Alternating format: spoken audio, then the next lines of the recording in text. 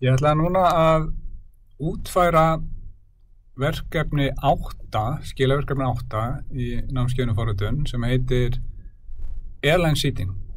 Og ég er komin hérna inn í Mými, hérna er lýsingin á verkefninu. Og þetta snýst um það að eh, leifa notanda eða skrifa forut sem leifa notanda að bóka sæti flugvél.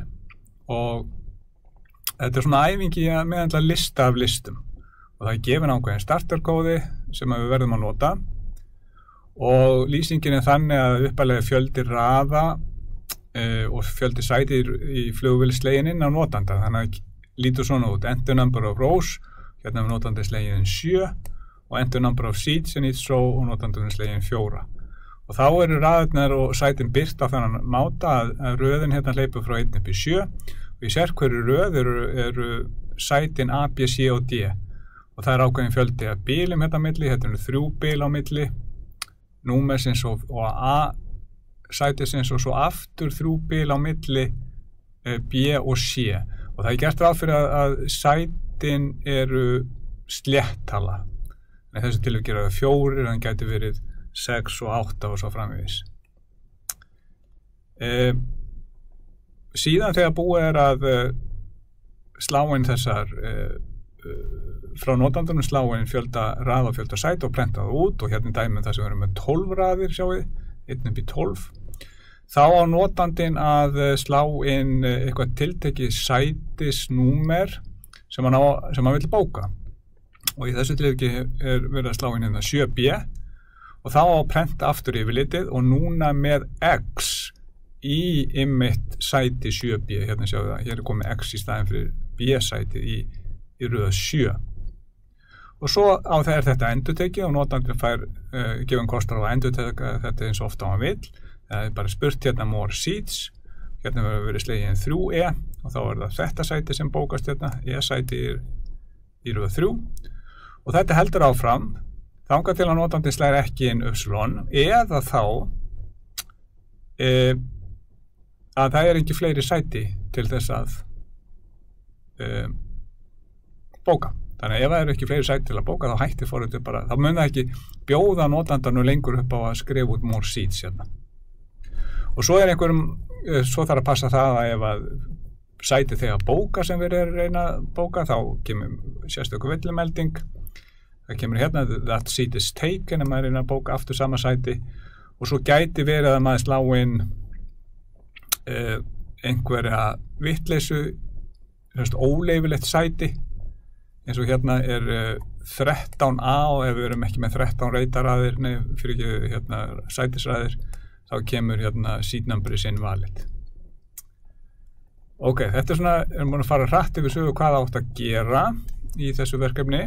Og svo var starterkóði gefin sem að leitt hann út að það var hérna kallað á main. Mainfalli var ekki gefin, það var eitt fall gefið sem myndir initial seating. En áðurum fyrir að skoða eða fara í útvæsluna þá ætlum ég aðeins að fara yfir algoritma sem ég er búin að skrifa hérna. Við munum við leggjum miklu áherslu á að þið skrifi niður svona leiðavísa eitthvað laus? Að hjálpar eitthvað til að brjóta verkefni niður í einstaka, einstakar einingar og forrita síðan einstakar einingu með föllum. Og ég hef hérna búið til svona algoritma það sem að ég segir get number of rows and seats from user. Ég þarf í byrjunin að fá þetta þessar upplýsingar frá notandanum. Eftir að það er komið þá ætla ég að skrifa út sætisupplýsingarnar og svo vera með einhvers konar likki sem heldur áfram þannig að allt hefur verið bókað eða notandi vitt bara ekki halda áfram. Og en í likkinu þá ætlum ég að fá frá notandanum sætið sem hann vill bóka. Svo ætlum ég að bóka sætið og skrifa út sætisupplýsingarnar aftur og, og spyrja notandan við hvort hann vilja halda áfram. Og halda þessu svona áfram þannig í, í þessari repeat likki þangað til annarkort er allt búið hefur að hafa öll sæti verið bókuð eða notandi vil ekki halda áfram lengur. Þannig að þetta er svona high level leiðavísir það er ekki farið í mikla uh, mikið smáatriði í leiðavísinum og það er bara fínt fyrirfram sérmaður ekki fyrir öll smáatriði. Þannig að maður byrjar bara í að skrifa þetta svona tiltölulega gróft og svo getur maður þegar maður fyrir útfæsluna hugsaðum ákveðin smáatriði.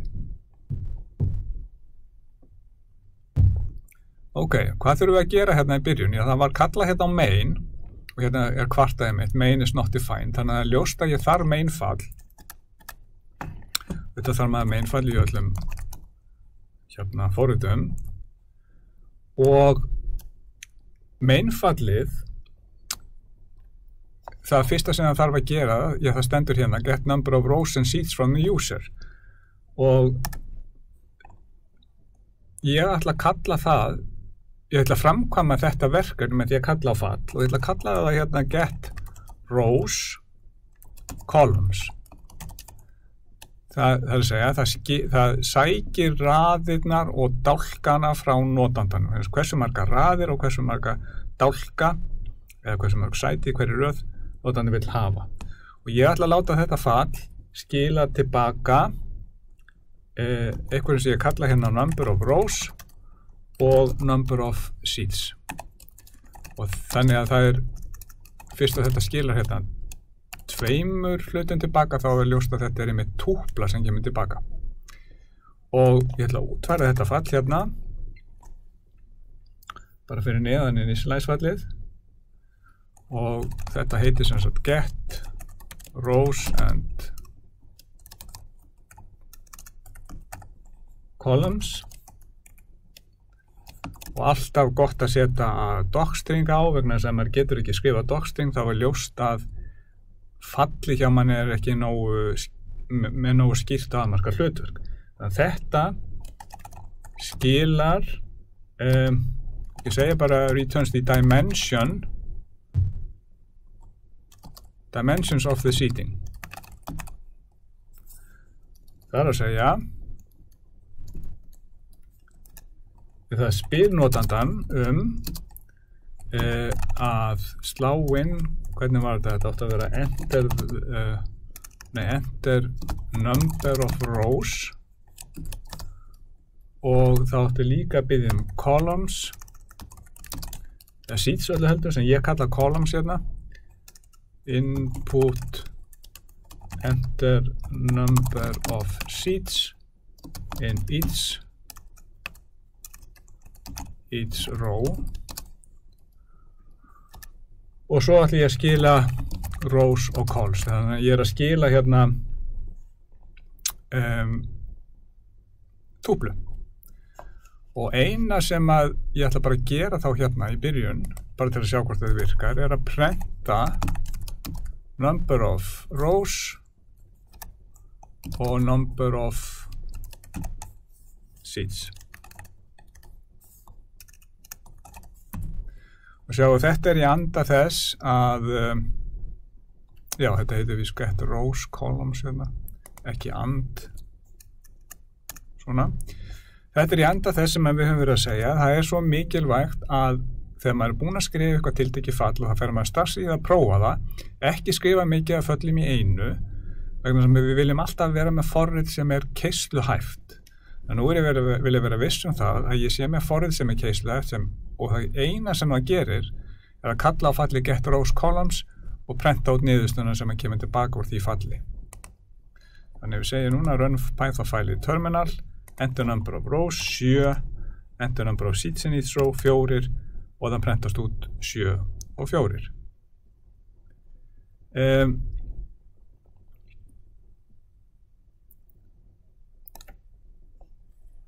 þá getum við á þessum tímanpunkti haldið áfram með algoritman okkar hér og hérna segi display the seating. Um, já það er náttúrulega eitt sem vantar hérna. Við þurfum að búa til um, hvað getur við að sagt? Initialize. Initialize the seating. Það er það sem vantaði hér inn í leiðavísin og þetta er reyndar falliðið mitt sem er gefið. Þannig að við ekki bara prófa það snöggvast áður við höldum áfram. Þannig að við getum hérna að kalla það á hvað gerir initialize seating? Returns an empty seating allocation list of lists. Each seat in each row is marked with a letter starting from A Ok, þannig að þá get ég kallað á þetta fall initialize seating það tekur inn fjölda raða og fjölda sæta. Og það skilar lista. Til að taka við honum hérna í einhverju sem heitir seating.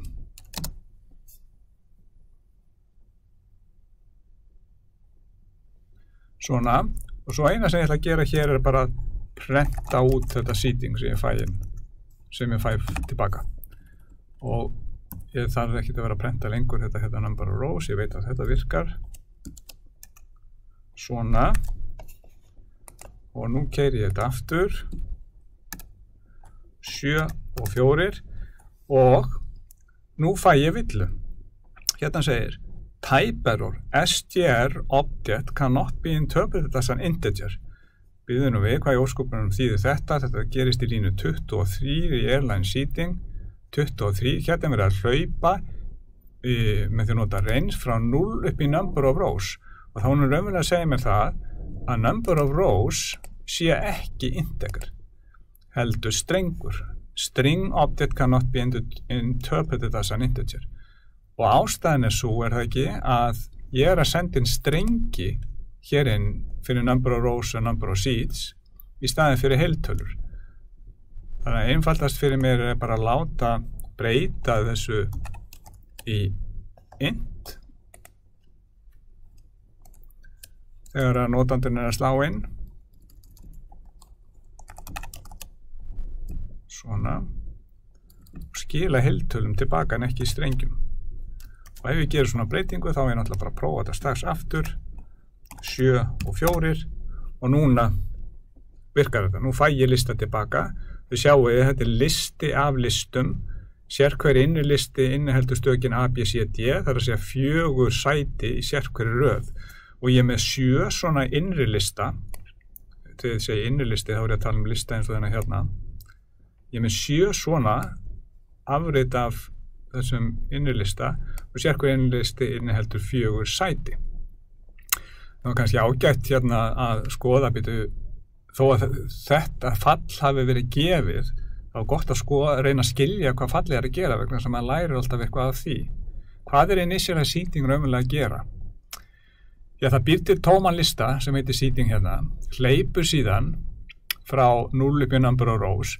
Takk eftir þessu hérna. Hérna er notað svo kallega wildcard hérna, hérna vanalega myndi maður að segja sko for i in range en ég er ekkert að nota indexin en maður notar ekki indexin inn í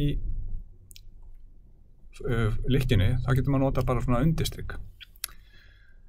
Já, það hlaupi frá 0 upp í number of rows. Í number of rows var í okkar tilviki 7, þannig að það hlaupi frá 0 upp í 6, munið þessi setni tal er ekki með.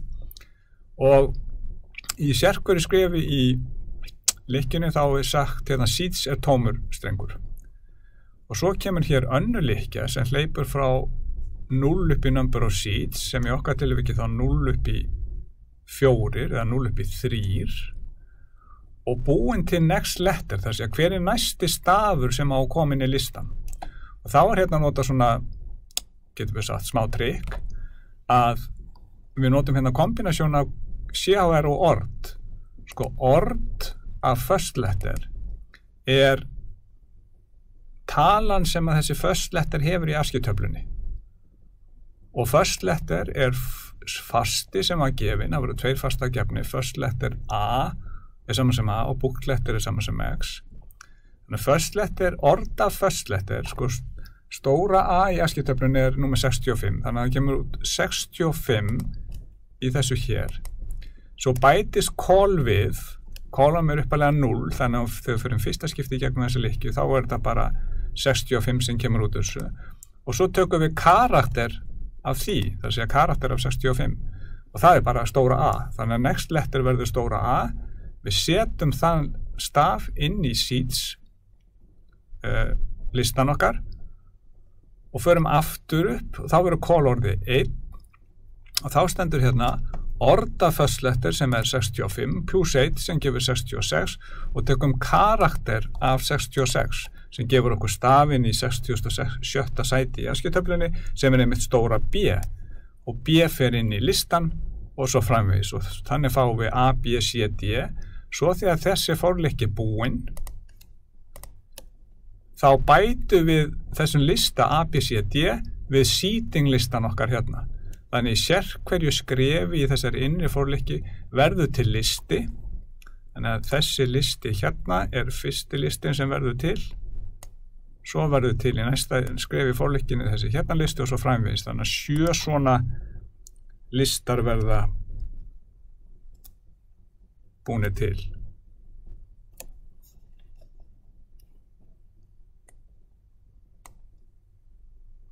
Þannig að þetta er og svo er, er listanum skila hérna og þess vegna erum við að fá þennan lista hér til baka. Hérna seating og prentuðum hann út.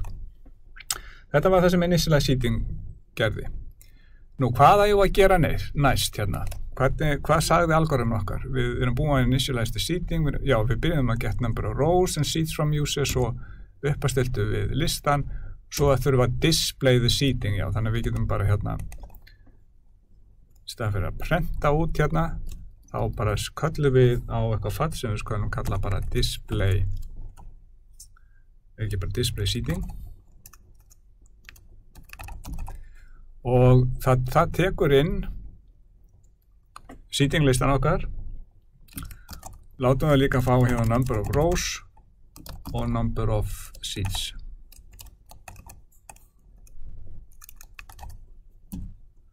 Og þetta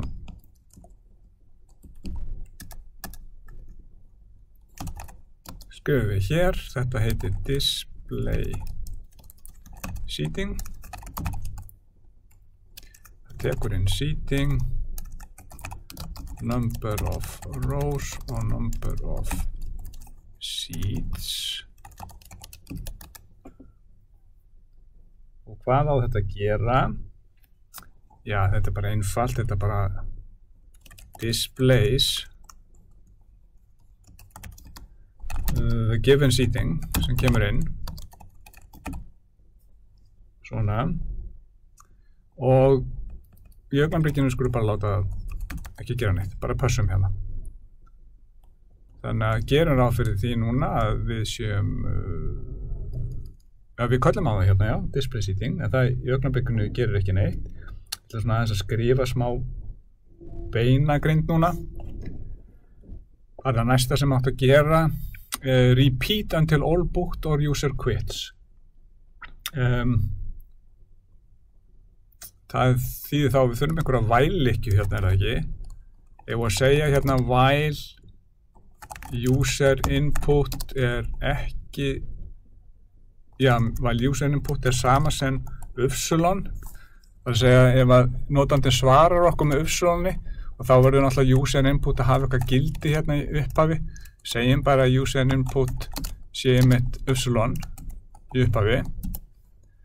Og meðan að það er upsilon og reynda stóð hérna repeat, repeat until all booked or user quits, quits until all seats are booked or user quits ég ætla bara að útfæra þetta hérna með user quits. Við höfum áhyggjur af þessu setna með, með hérna all seats. Það ekki eftir að maður sko þarf ekki að útfæra allt, alla flækjun í einu, ég er bara að reyna að gera þetta svona smán saman búa til beinagrind sem er með einhverju tiltekinu útfærslu en svo fer ég smán saman í smáatriðin. Þannig að while user input er sama sem upsilon þá eigum við að sækja sæti from user um, ég kalla það bara get. Ég ætla að kalla það get valid seat af því að það þarf að vera valid þó ég hafi kannski áveikjur af flækjunu síðar. Og það er number of rows sem að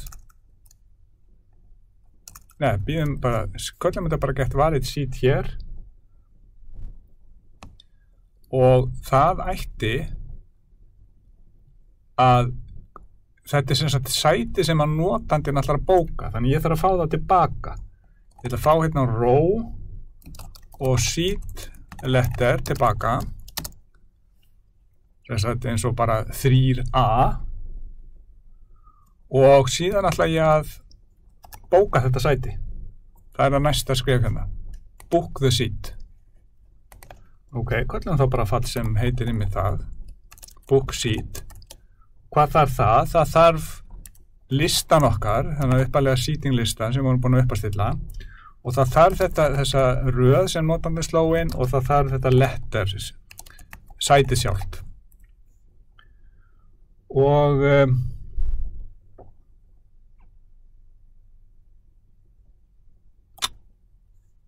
hvað var það næsta display the seating kemur hérna eftir að við erum búin að bóka. Það er fall sem að við vorum að skrifa á hann sem reynda var bara með hérna, var bara stubur köllum bara á það aftur hérna.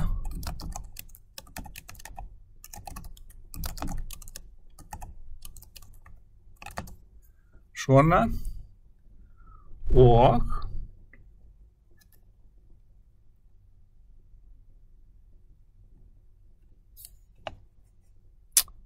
user input. Ég ætla aðeins að, að skipta um nafn hérna. Kalla þetta bara ansver hérna. Sem er mjög algengt að maður sko breytum nöfna og breytum ekkert að því. Og svo kemur hérna alveg í lokin ask user to continue seat still available. Og ég ætla bara að segja þá hér að svari frá notandunum verður niðurstaðan á kalla input.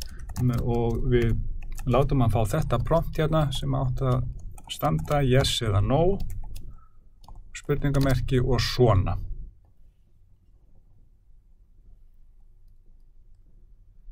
Og takk eftir ég er ekkit að velta mér upp úr á þessu stíði flækjunni ef það eru, ef það eru sæti yfir höfuð uh, í bóði ég ætla bara að spyrja hann beint hérna þannig ég geti hægt þessari vælikju með því að slá á eitthvað annað en Upsilon en þá verð ég útværa gett valid seat og booked seat er það ekki?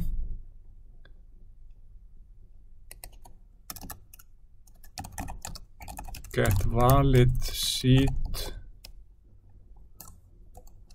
og látum það bara hérna passa. Og book seat það token seating um, hvað kallum við það hér? Number of rows og num nei, row og seat letter. Row og seat letter. Svona og bara pass.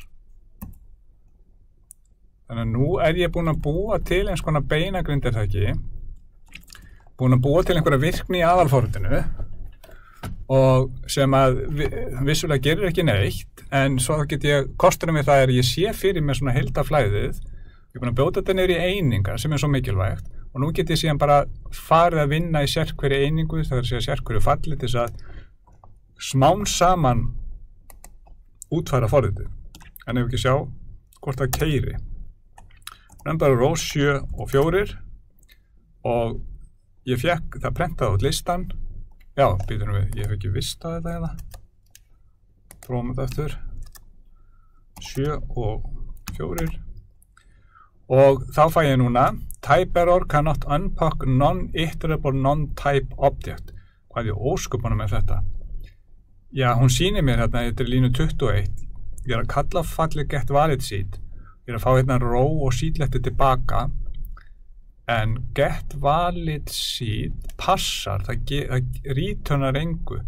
Þannig að það sem því það er returnar none og þess vegna segir hún cannot unpack non-iterable non-type object. Sína ykkur hérna hvað það gerist. Ég segi hérna row, koma seedletter er niðurstaðan að ég að kalla á get valid seed en valid seed passaði sem því það skilja bara non og þá, er, þá reynur hún að unpakka því í tvær breytur eða túplu og það er ekki hægt. Þannig annarkort verði ég að sleppa því að taka við því hérna eða láta bara get valid seed skila túplu einhverju svona dömmi túplu skila bara ok, þetta er bara fyrsta röð og A. Stafurinn A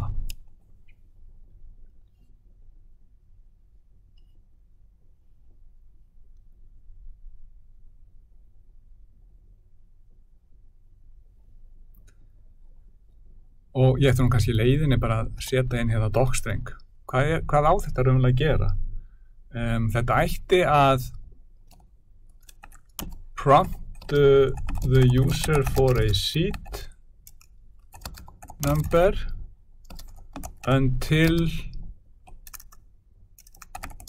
a valid seat is given. Þetta er það sem það á að gera. Nú skilja það bara þessu hér. Og bóka, fyrst við erum að þessu, það að bóka sæti, það ættir hennilega bara að uh, books a seat by user request.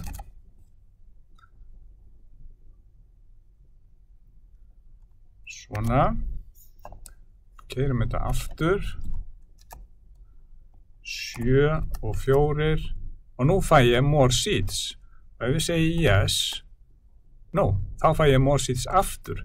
Það er augljóslega ekki rétt að ég ætti að fá enter number Nei, fyrir ekki. Jú, þetta er rétt vegna þess að ég er ekki búin að spurja notandan að því hvaða sæti er það sem hann ætlar að bóka. Það segir yes aftur, nú heldur þetta bara áfram. Ef ég segi no, þá hættir hann. Þannig að nú er ég búin að ganga skökkum það að þessi likja hérna, hún raunverulega virkar. Hún heldur áfram þanga til að ansvar verður ekki uppsilon. Og eina af það sem ég er að gera í likjunni er að ég er raunverulega bara að spurja notandan aftur og aftur um hvort það vilji fleiri sæti. Því að þessi föll mín, get valid seat, book seat og display seating þau gera ekki neitt, sjáu þau eru bara stubbar fínt, þá ætti ég reynilega bara að ganga á stubbana og reyna að útverða það og það fyrsta sem ég ætti kannski að gera er bara þessi hérna, display seating. Ég þarf að sjá eitthvað, ég þarf að geta prentað út sætis skipanina.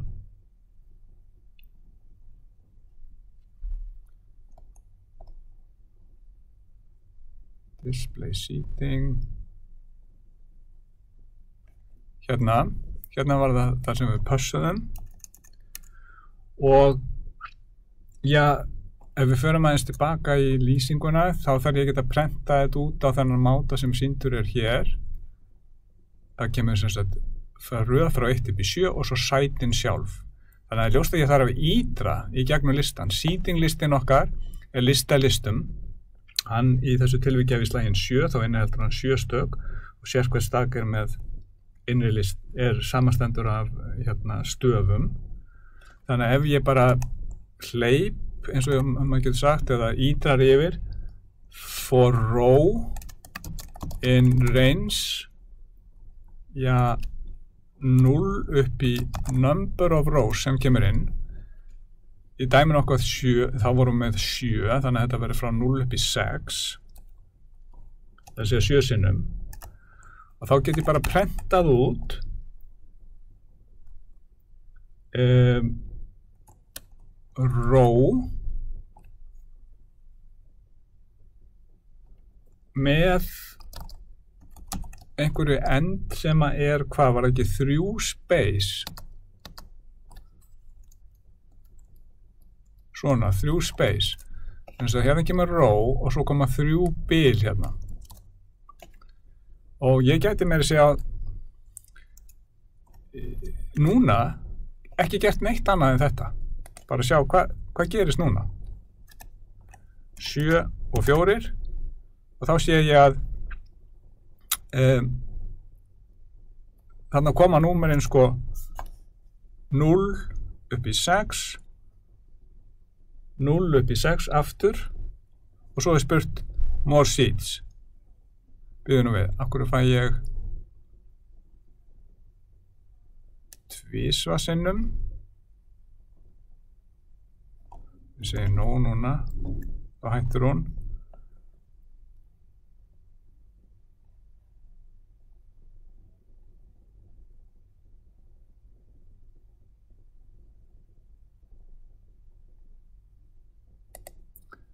Já, þannig að þú skilja að fá tvísvarsunum hérna.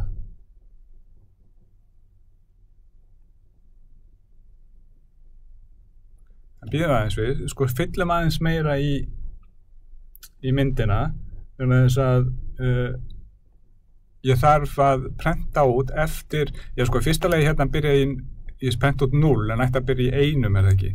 fyrsta, sko, það sem notandan á að sjá er plus 1 hérna og á eftir að þegar að röðin kemur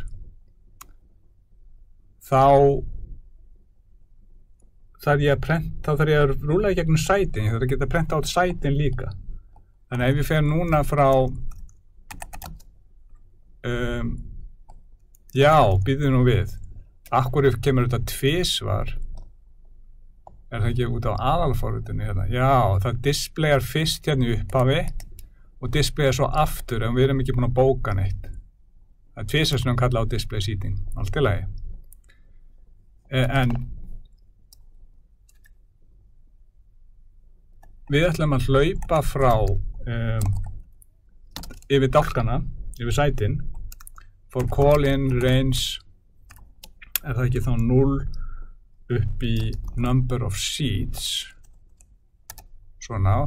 Í okkar dæmi vorum við sætin fjögur þá voru þetta 0 upp í 3 og um, sætið sem við erum með ætlum að prenta út það er í hvaða hvar er það í seating það er í seating af row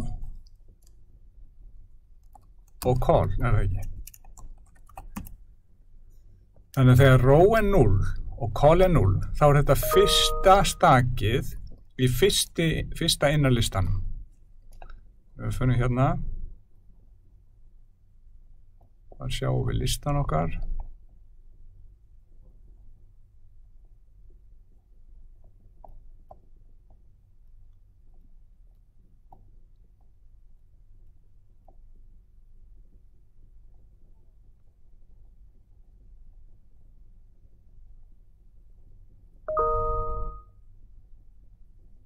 Hérna.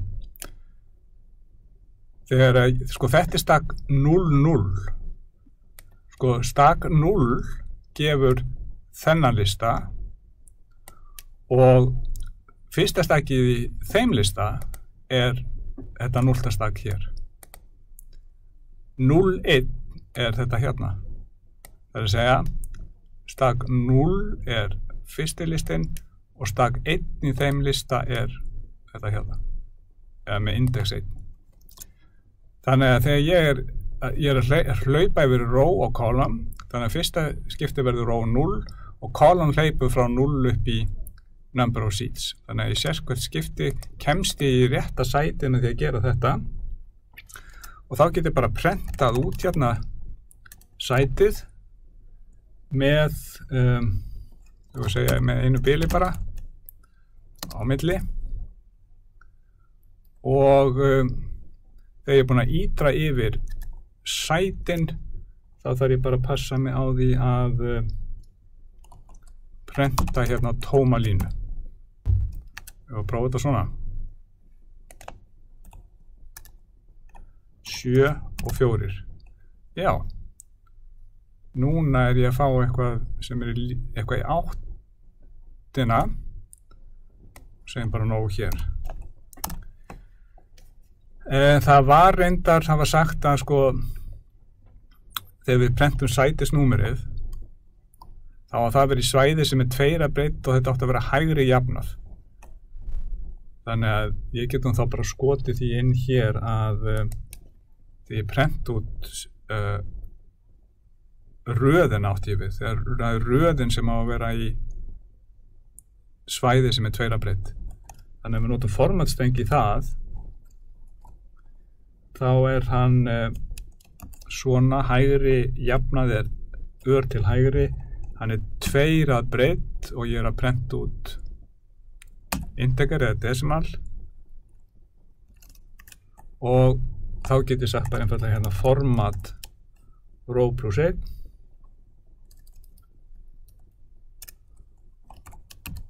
og þegar ég er búinn þá er ég með þrjú bil. Ég var að prófa þetta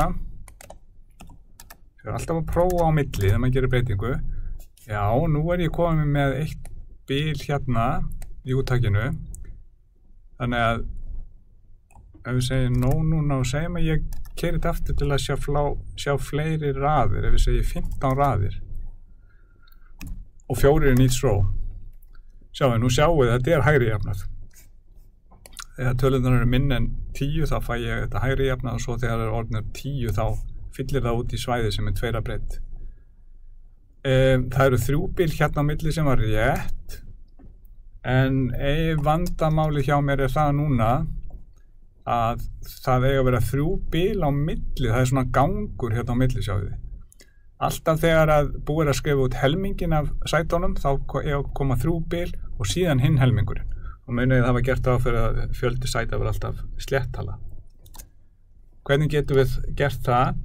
Já, ég að sagði það hérna að þegar ég kom með helmingin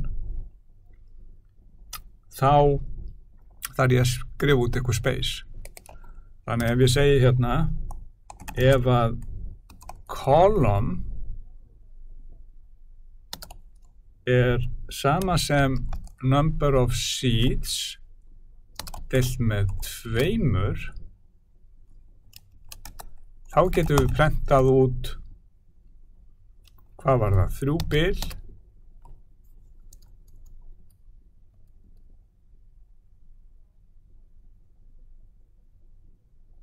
eða tvö, maður sé að var þetta tvö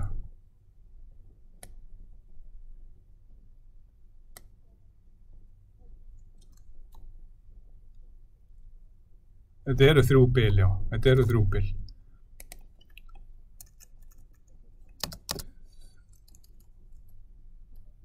Svona. Og gerum síðan end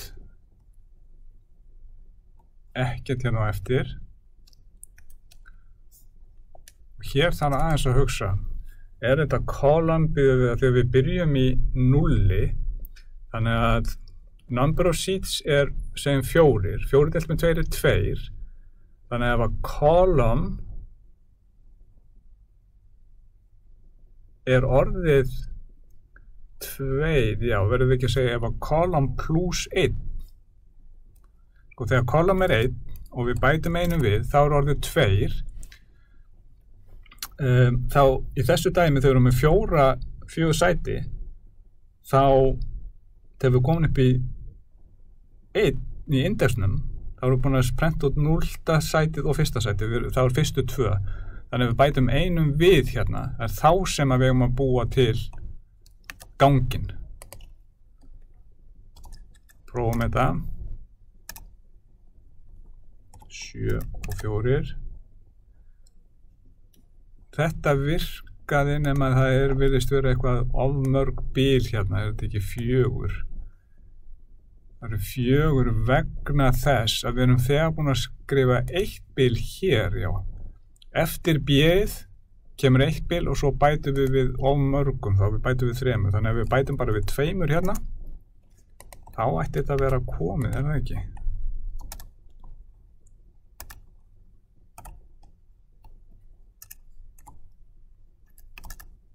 Svona. Nú er þetta að fara að líti út eins og var beðum hérna. Þannig að display seating verðist bara að vera komið hjá okkur. Þessi hlutu hérna sem við kvöllum á strax eftir initialize seating. Segja nú hér. Og hvað er það næsta um, sem að við þurfum þá að útfæra? Já, get valid seat sem að sækir frá notandunum hvað sætun ætlar að bóka og það er bara núna er það bara hardkóð að það skilar einhverju tilteknu sæti bara þess að þetta keirði hjá okkur? Um, get valid seat þannig að þá að halda áfram að spyrja notandan þanga til að kemur valid seat um Já, við þurfum svo sem ekki að vera spekulurið sem er valid seat strax eða ég vil ekki bara segja hérna. Um, row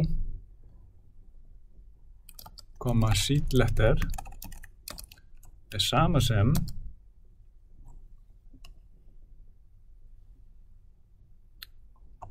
input Já, hvað var það sem átt að standa? Það var input seed number row seed, svona leitið þetta út. Um, en þetta er náttúrulega sko notandi slær þetta inn sem eitthvað eins og hérna 3e þannig að þetta er strengur. Þannig ég get ekki gert þetta svona. Ég verð að segja að þetta er einhvers konar row um, við kalla þetta row bara seed strengur þetta er strengurinn sem notandi slæri inn eins og eitthvað 3e og svo getum við bara splittað honum. Getum splittað honum. Ég hefði svo sem ég geta gert þetta strax en við skulum hafa þetta svona kannski aðeins læsilegra. Row þetta er strengurinn sem að við splittum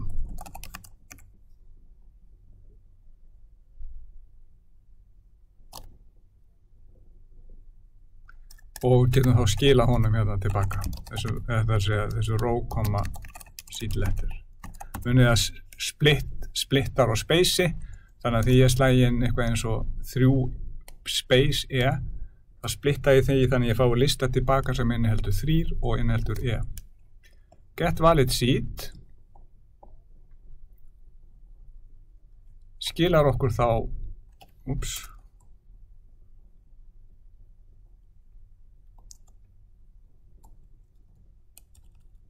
skilar okkur þá einhverju ró og sídletter sem að við ætlum síðan að bóka. Og bóksíkt hvað gerir það? það gerir ekkert í augnablikinu það passa bara, bara við getum gert eitt hérna. Print bara í augnablikinu. St um, starting to book. Um, row, sídletter sem kemur hérna inn Sjá, ég er ekkert byrjað að útfæra þetta, ég ætla bara að sjá hvort að sæti sem ég fekk frá Get Valid Seed kemur öruglega rétt inn hérna. 7 og 4. Svo kemur input seed number. Ég ætla að bóka 3E.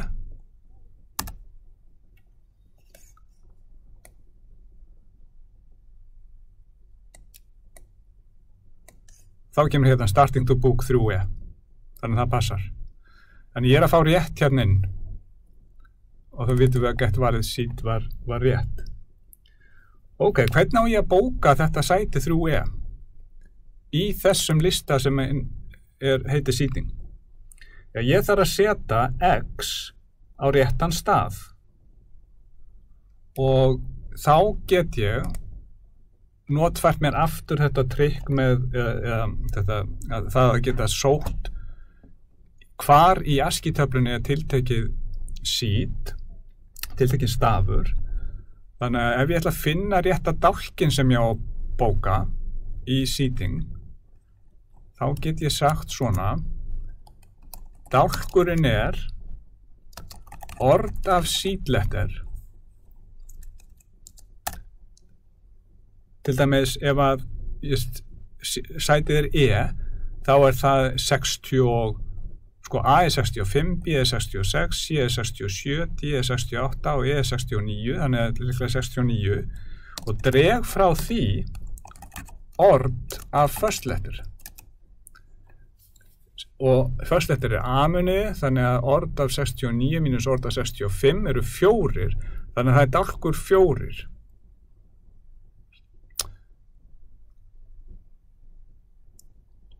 Þannig að ef við tökum betadæmi hérna með það sem við erum með hér í höndun, sko ABCD, þá væri ef við ætla að bóka sæti D, þá væri það 3, vegna þess að A er 0, dálkur 0, B er dálkur 2, C er dálkur 3 og D er dálkur, sorry, C er dálkur 2 og D er dálkur 3. Þannig að það fæði 3 út úr kolum og þá get ég sagt seating af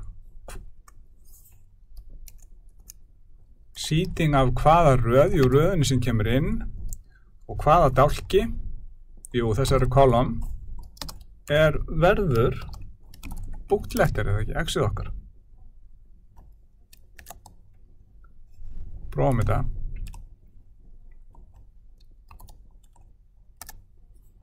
sjö raðir fjórar í hverji ég ætla að bóka hvað? Þrjú D nú, þá gerist hvað? Seating of row, column já um, list indices must be integer og slices, not string. Það er eitthvað af þessu stringur er það ekki? Sko, column verður lægi, við veitum að það verður integer, það er líklega row hérna sem kemur inn í booked seat sem er um, ekki integer þannig að get valid seat ætti vantarlega bara að skila heiltölu hérna er ekki? Heiltalan nú með hvað er þessi röð? Prófum aftur. 7 og 4 við ætlum að bóka 3 D. Og þá fæ ég X en ekki alveg á réttan stað. Já það er off by one er það ekki? Það er vegna þess að þegar notandi sló inn um, röðina þrýr þá reyndi ég að breyta í hérna búksít. Þá reyndi ég að breyta seating af þremur sem er fjórðaröðin er það ekki? Að því við byrjum í nulli þetta er svona dæmigervilla er það ekki? Sem að svona off by one villa. Þannig að þetta lítur að vera mínus 1 sem ég á að breyta hérna. Prófum aftur number of rows eru 7 seats in each row eru fjórar og ég ætla að breyta hvað sagði ég 3D þarna, nú er þetta rétt. Ef við segjum more seats þá er aftur, afturspörður og nú ætlum ég að gera 5A og hún hittar á réttan stað. Eins og enn, yes. Uh, 6C og það er bókað á réttan stað. Og svo segir ég nei þannig að nú erum við vel álæðis. Við erum farin að geta bókað við getum uh, hérna, sótt sæti sem við viljum bóka frá nótlandanum og við getum displayað. Hvað er þá eftir ef við skoðum hér? Repeat uh, until all seats are booked or user quits uh, já, repeat until all seats are booked or user quits. Uh, við erum raunverulega bara með það að until user quits er það ekki? Við erum ekki með until uh, more seats are available.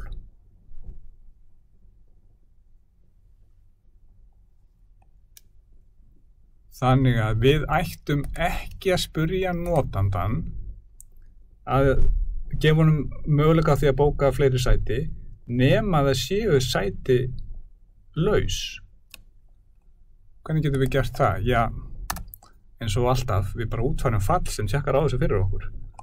Ef að seat er available, kallar þetta svona, og það tekur inn seating,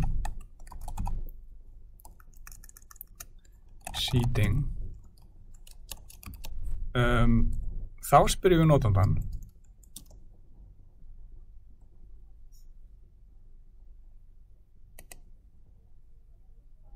annars eigum við að hætta. Já, skulum aðeins hugsa þá eftir. Um,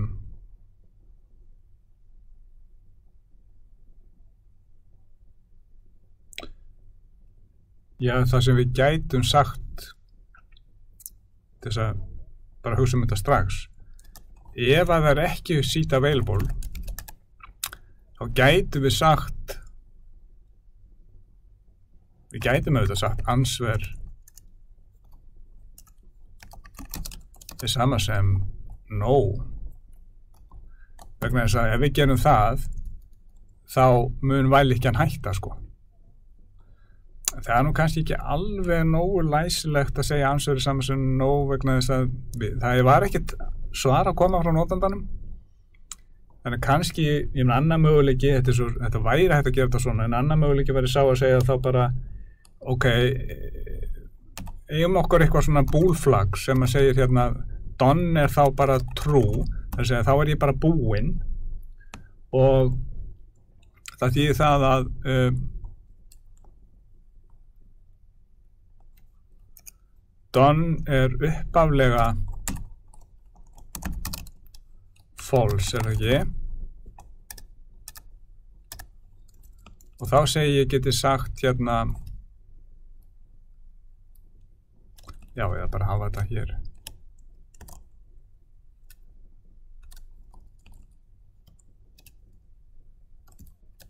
svona, ég uppastilli þetta flagg og meðan við erum ekki búinn while not done þá heldum við áfram og ef að það er engin sæti laus þá setjum við done saman sem trú en ef að við komist yngan að spyrja notandan þá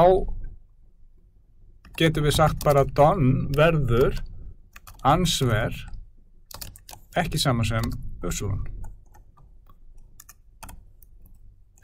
sko, hvað er ég að gera hér? Já, út af þessu kemur trú eða fáls.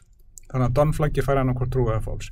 Ef að ansver er sama sem Upsilon, þá verður Don, þá verður þetta hérna fáls og ég er ekki Don. En ef ansver er eins og geti til dæmis N fyrir no, þá verður Don trú og þá hættir vælikjan.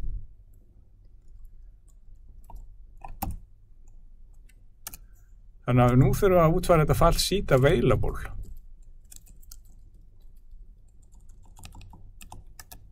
Er gott að hafa tvö bíl svona millir falla hérna, það er svona samkvæmt staðili. PEP 8 staðlinum. Seat uh,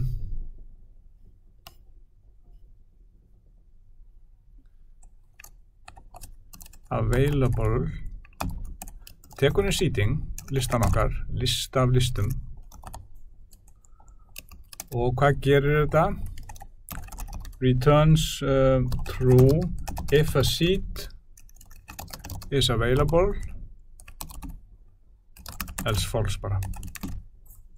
Einfall hlutverk. Nú þá þurfum bara að rúla í gegnum en að lista okkar og aðtóa hvort allt sé bókaðið ekki. Þannig að for row in seating og for seat in row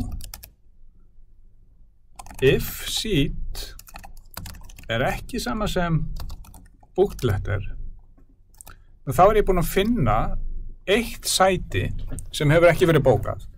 Og þá veit ég að það er seat, seat er available. Og þá ekki bara skila ég trú. Annars ef að ég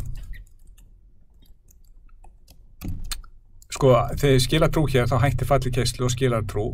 Ef ég á annar bár kemst allarleið út úr fórleikjónum þá veit ég að allt er bókað er ekki? Og skila fólks. Hvað er ég að gera? hlaupa í gegnum listan fyrir sérhver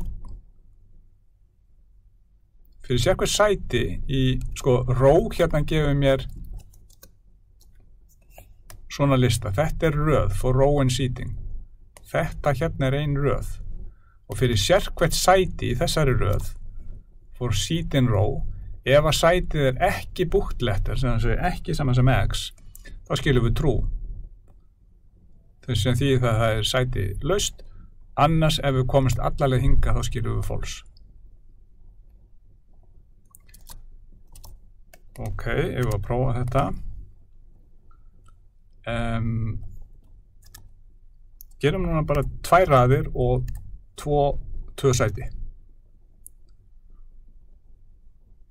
og ég ætla að bóka 1A þá koma ekki þar og ég, spur, ég spurður aftur. More seats, yes. Ég ætla að bóka 1B ég spurður aftur. Ég ætla að bóka 2A ég spurður aftur. Ég ætla að bóka 2B allt bókað. Og ég er ekki spurður aftur. Passar. Með þess að more, seat available skilur false í því tilveiki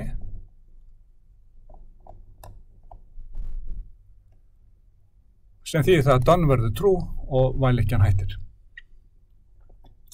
Þá erum við nú komin aðeins langt með þetta sko. ask the user to continue, if seats still available, við erum búið með það. Um,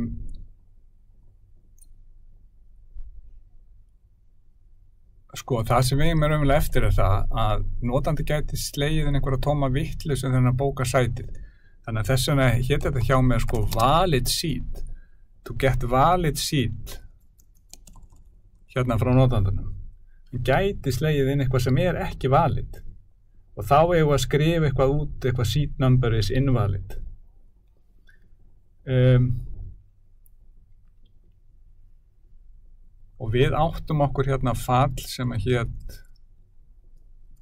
get valid seat þannig að það þarf eiginlega við gætum sett sko einhverja likju hér inn að byggja notandan að slá inn sæti fyrir okkur, við tjekkum á því hvort það sé valid og endur tökum þetta ef að svo framalega sem að það er invalid þannig ég ætla að búa til likju hérna og segja bara í uppaflega er valid false?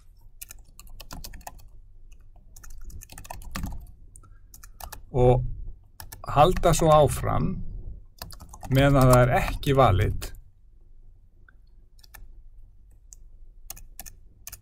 það er að segja starta líkjunni hérna. Byggja um ró og sít.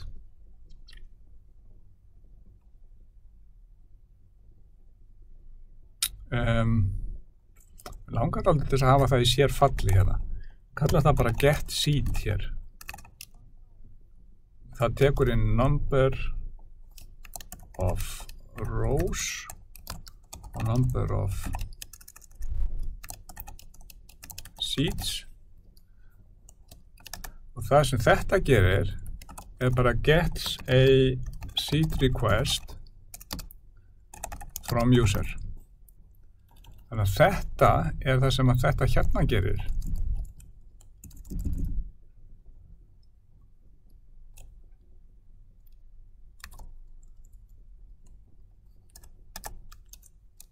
Þetta er sem sagt spyrnotandan uh, splittar þessum strengu yfir í yfir í sem sagt ró og sídlettir skilar því þessu row og sídletter hérna.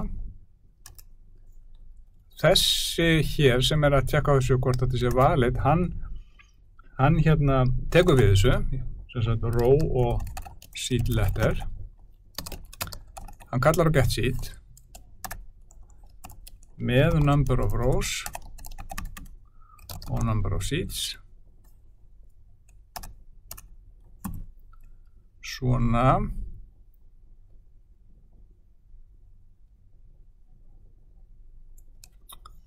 Hvað er hún að kvart yfir hér not defined já, vegna þess að ég er ekki búin að senda það hér inn í get valid seed, já. Já, alveg fórhundin okkar þá ætla ég að senda það hér inn, já. Number of rows og number of seeds. Það kemur hérna inn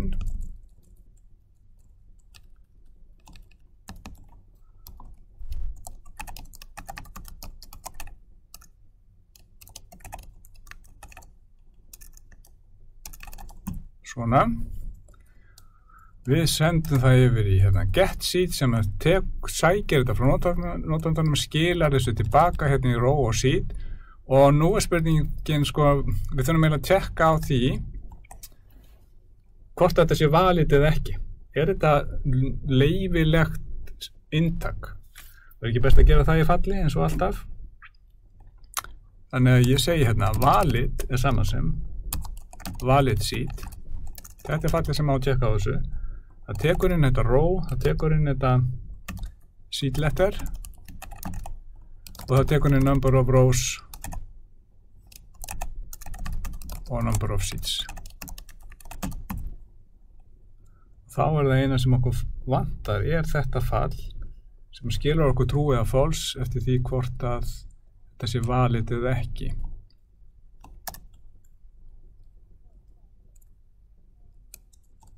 hérna. Sjá, eitt, tvö bil. Uh, þetta er sem sagt valid seed tekur inn row tekur inn seed letter var það. Tekur inn number of rows. Og tekur inn number of seeds og hvað gerir þetta? alltaf að skrifa sko. Þetta er svo mikilvægt að skrifa svona docstring vegna þess að ef maður lendur í vandræði með það þá er maður að gera eitthvað vittlust þetta bara skilar true if the given seed is valid else false. Ok, hvaða hvað möguleikar er í stöðunni? já röðin sem, slæ, sem notandi slærin eins og 3e röðin gæti verið ekki integer þannig að það fyrsta sem ég ætti ég, hérna upplætt að nota try, except sem ég gæti reyndað breyta röðin í integer ef að það klikkar og kemur upp value error, er það ekki? Og þá veit ég að intakið er vittlust. Það er en ekki valid, þá skilja ég bara false. Uh, svo gæti gæti ég fengið inn eitthvað sem er raunverulega integer en passar ekki með að við fjöldar aða. Ég meni, ef ég er með fjöldar aða frá 1.7 og notandi slæri 0 eða slæri 9 þá er það out of bounds er það ekki? Þannig að sko ef að row er starrið að sama sem 1 og um, row er minnið að sama sem number of rows. Þá er ég í lægi, er það ekki? Þá er hún þá er hún innan hérna markana en svo getur líka verið að sætið sé ekki innan marka. Sætið þarf að vera ég ætla að skrifa þetta hérna allt í einu uh, ef að seed letter sem kemur inn er starra eða sama sem first letter, munið að first letter er A og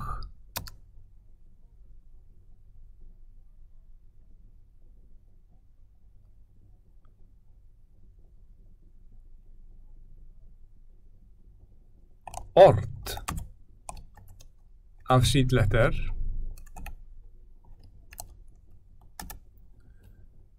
er minna en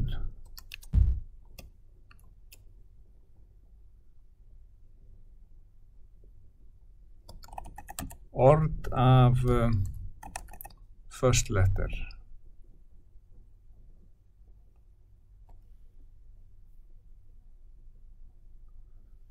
first letter. Skrifa þetta og reyna svo að skýra þetta út. Plus number of seats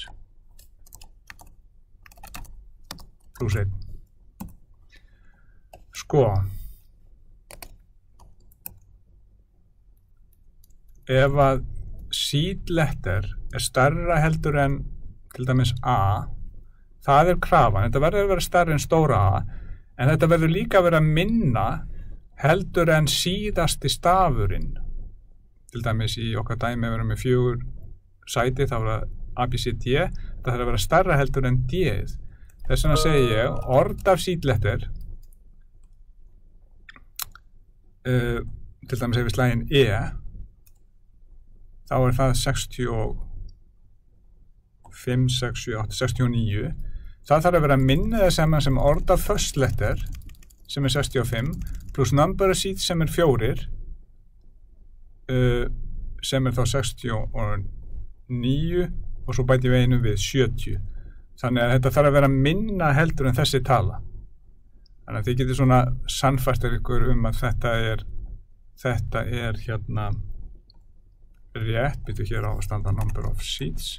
Þannig að þetta er svona smá æfingi að sko uh, skoða sætisnúmerin uh, first letter og fjölda sæta og, og fullfyrir sem að svona þarf segðin að líta út. Uh, og ég get einfallega þið skila þessu tilbaka vegna þess að ef að röðin er innan marka og hérna kemur and og sætin sætið er innan marka þá fæ ég trú úr fyrirsegðinni hérna og trú úr setni segðinni þá skilast trú. Ef annarkvort er fóls og ég með andamilli þá skilast fóls þannig að báðar segðunar eða allar segðunar, þetta er umverulega marga segður það er ein hér það er önnur hérna það er þriðja hérna með fyrirlutan í sít og það er fjórða hér með setnirlutan í sít allar þurfa að skila trú til þess að skilist trú tilbaka sem að þýðir að sæti sér valit þannig að við prófum þetta aftur. Number of rows segjum hérna 7 og 4 þá brentast þetta út. Input seat number og ég ætla að gera hérna uh, fjögur B þá bókaðist þetta rétt þetta var greinlega valid seat ég ætla að segja more seats yes. Input seat number og ef ég segja núna 8 A ups þá fæ ég greinlega index error list index out of range. Þetta er í booked seat.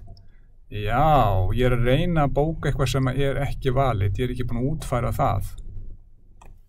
Ég er að reyna að bóka en fekk vantarlega invalid sæti frá hérna fallin okkar.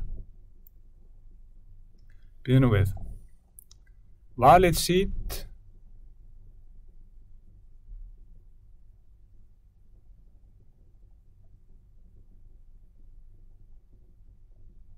Hér.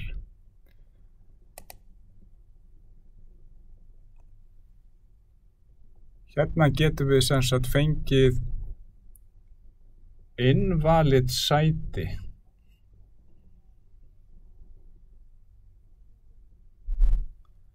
Þannig að um, ef að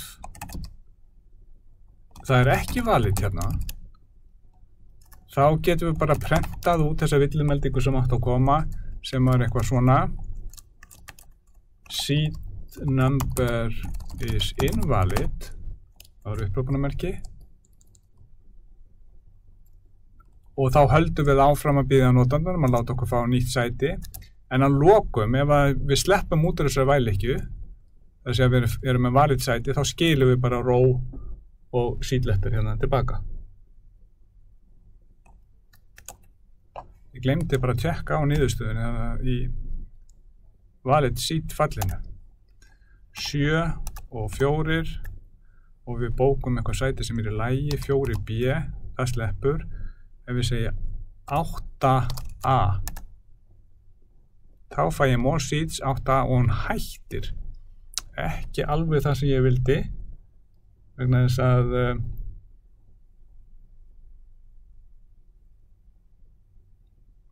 ég vildi hún prentaði hér út fyrir mig. Er auðvitað hægt að sjá hvað veldur valid seat hefði átt að skila false?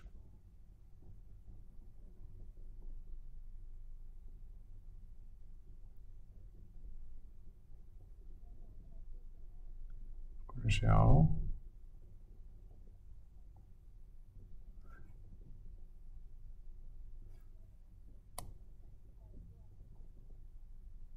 4B og ég sló inn 8A ups, ég, ég sló inn 8A fyrir more sweets. Tónvillisa 7 og 4 við þú hafa verið beint í þetta. 8 ég gerum þetta eins og aðan hvað gerir ég, 4B svo segi ég yes. Og svo verð ég að segja 8a já, nú fæ ég seat number is invalid. Og ef ég segi sko bara xx aftur seat number is invalid vegna þess að x er ekki integer og þá, þá er það try blokkin okkar hérna. Hún reynir að breyta þessu í integer en það kemur upp value error og skilar false. Ef ég geri 3c þá slepp ég í gegn og hún bókar þetta rétt. Ég segi aftur, ég ætla að bóka fyrir sæti. Ég segi 6d og hún bókar þetta rétt og ég ætla að segja no hérna í lokin þá erum við búinn þannig að þá erum við búin að fara í gegnum uh, útfæsluna á þessu, þið sjáu að þetta er, var alls ekki einföld útfæsla og eina leiðin til þess að geta ráði við svona verkefni er að brjóta það niður í einingar. Við byrjaði að því að búa mig til svona leiðavísi eða algrím sem að hjálpaði mér að brjóta þetta niður í einstök verkefni og svo bjó ég til eins konar beinagrind þar sem að um, ég var með född sem gerðu sem ég kallaði á en, en þau voru bara stubbar, gerðu náttúrulega ekki neitt. Og svo smán saman útferði ég fall eftir fall og passaði mig á því í millitíðinni að alltaf að prófa forritið til þess að vera alltaf með keistluhæfa útgáfu af því. Og það er þetta sem við hefum sagt við ykkur. Leggiði áherslu að hafa alltaf keistluhæfa útgáfu af forritinu það er betra heldur en að reyna að útfæra meiri virkni og forriti keirir ekki. Minni virkni sem virkar er betra heldur en meiri virkni sem virkar ekki